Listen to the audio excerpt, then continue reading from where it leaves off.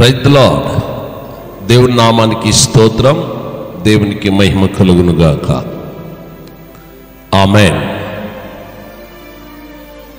దేవుడి ఉదయకాల సమయమే నేను దేవుని వాక్యంతో నిద్ర లేపాలన్నదే ఆయన కోరిక.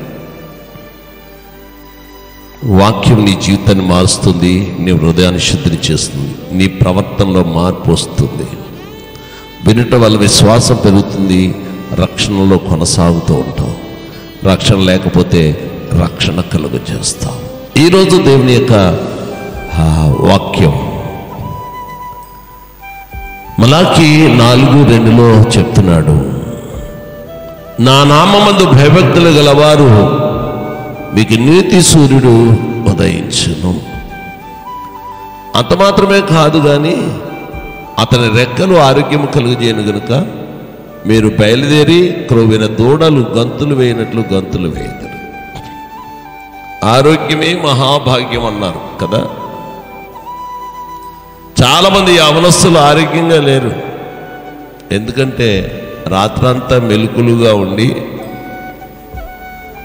ఆ కంటితో చూడని పాపాలు చూసి నిద్ర లేక పొద్దునకి ఉసూరుమంటలు ఎత్తున్నారు. హ్యాపీగా ఎత్తులు చాలామంది. ఉసూరుమంట వాళ్ళకి ఏం హుషారు ఉంటుంది వాళ్ళు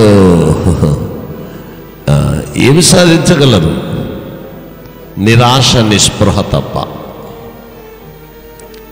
ఇలాంటి వాళ్ళ కొరకే ఈరోజు ఈ మాటలు.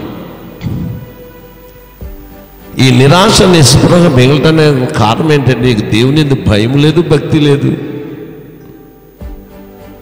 చాలామంది క్రైస్తవ పిల్లలే. అన్నిల గురించి నేను ఇప్పుడు మాట్లాడుతున్నా సమా వారికి వాక్యం వాక్యము అందలేదు కదా. నీకు నీ బిడ్డలకు అందింది కదా. నీ పిల్లల విషయంలోనే మాట్లాడుతున్నాడు ఇది.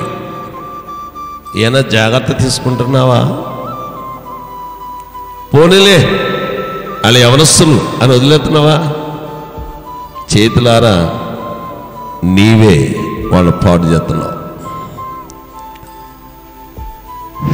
వయసును మించినటువంటి కార్యక్రమాలలో వాళ్ళు పాల్గొనటానికి మరొక విషయం.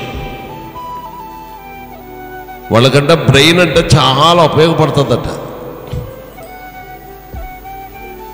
ఈ సమాచారం బట్టి. కానీ బ్రెయిన్ ఉపయోగపడటం లేదు కానీ దేవుని భయభక్తులు చల్లారిపోయి అర్థమవుతుందా? దేవుడంటే లెక్క లేకుండా పిచ్చి గేమ్స్లు వాడి చిన్నప్పుడే చాలామంది ఆత్మహత్య చేసుకుంటున్నారు. నీకు తెలుసా విషయం? నాకంటే బాగా తెలుసు మీకు. మీకు నేనేం చెప్పక్కర్లేదు. మీరు బాగా చదువుకున్నవారు కూడా. కనుక పొద్దునాడు ఎలా లేస్తున్నాడో తెలుసా? ఉసూరు మంటలు ఎత్తున్నాడు. భయం భక్తి లేదాడికి నీ కుమార్తె కావచ్చు నీ కుమారుడే కావచ్చు. వాళ్ళకి ఆరోగ్యం ఎక్కడి నుంచి వస్తుంది మంచి నిద్ర. ఎనిమిది గంటలు చక్కగా నిద్రపోతే ఆరోగ్యంగా లేస్తాడు మూడు గంటలే నిద్రపోతే ఏం ఆరోగ్యం ఉంటుంది వాడికి? ఉసూరు మంటలు ఎత్తాడు ఏ పనికి వెళ్ళినా అంతే. మళ్ళీ సాయంకాలం అయ్యేసరికి అదొక వ్యసనముగా మారిపోతుంది అతని జీవితంలో. అంతే. ఇక్కడ ఏమంటున్నాడంటే నా నామందు భయభక్తులు గలవాడు క్రొవ్విన దూడల వలె గంతులు వేస్తాడంటున్నాడు. హుషార్ దేవునిలోని అభిషేకం పొందుకుంటాడు.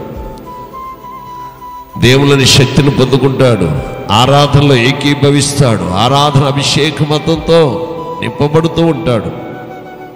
చాలామంది అవనస్తులను కూడా చూస్తున్నాను సొమ్మ ఈ రోజుల్లో. కొన్ని చోట్ల యవనస్తులు బలముగా దేవుని ఆరాధించి గంతులు వేస్తూ ఆరాధన. ఒకసారి నేను హైదరాబాద్లో ఒక మీటింగ్లో పాల్గొన్నప్పుడు అక్కడ ప్రేయర్ అండ్ వర్షిప్ జరుగుతుంది. బా యవన పిల్లల గంతులు వేస్తూ తాళాలు వాయిస్తూ దేవుని మహిమపరచటం. అలాగనే అదే పరిశుద్ధాత్మని నేను ఏం చెప్తలేదు కానీ ఆ సంతోషం వేరు సాతాను వేసే గంతులు సంతోషం వేరు. ఈ రెండు చాలా తేడా ఉంది. సీనియర్స్ అందరూ గమనిస్తారు ఇది దయ్యపు చేష్టలని పరిశుద్ధాత్మతో నింపబడిన వారని తెలిసిపోతుంది. కనుక నీ పిల్లలు ఎలాగున్నారు? ఒకసారి ఆలోచించు. భయభక్తులు కలగవారుగా ఉన్నారా? భయభక్తులతో పెంచుతున్నావా? నీవే అదే తోవలో ఉంటే వాళ్ళని పెంచుతావు నువ్వు రాత్రి అంతా నీవే ఆ దృశ్యాలు చూత పడుకుంటే నీ పిల్లలకి ఏం చెప్పగలవులే నీకే భయం లేదు చాలా మందికి భయభక్తులు లేవు. అలాంటి వారి కొరకు ఈ మాట. అందరి కొరకు కాదు సమా. భయభక్తులు గలవాడు తన పిల్లలు కొవ్విన దూడలోని నువ్వు కొవ్విన దూడలో పొద్దున్న లేవగానే తండ్రికి స్తోత్రాలు చెప్పి స్థుతి ఆగమర్పించి నీ పనిలో నిమగ్నమై ఒక గోల్ ఒక ఆశయాన్ని నెరవేరుస్తావు అలా నిరాశ నిస్పృహలో ఒక ఆశయాన్ని నెరవేర్చలేడు. వాళ్ళు ఎప్పుడూ అలాగే ఉంటారు బలహీనులుగా. మేమేం చేయలేంలే అని నిరాశతో ఉండిపోతారు అదే వారి జీవితంలో జరిగేది. కనుక ప్రేమైన దేవుని పిల్లలరా దేవుని వాక్యం త్రోసివేయక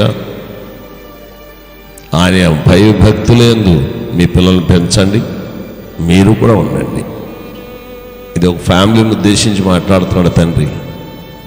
కనుక నీ ఫ్యామిలీ ఎలా ఉంది? నువ్వు ఎలా ఉన్నావు? కనుక ఈరోజు హెచ్చరికతో కూడిన వాక్యం దేవుడు మిమ్మల్ని దీవించి ఆస్వాదించునుగాక ఆమెను.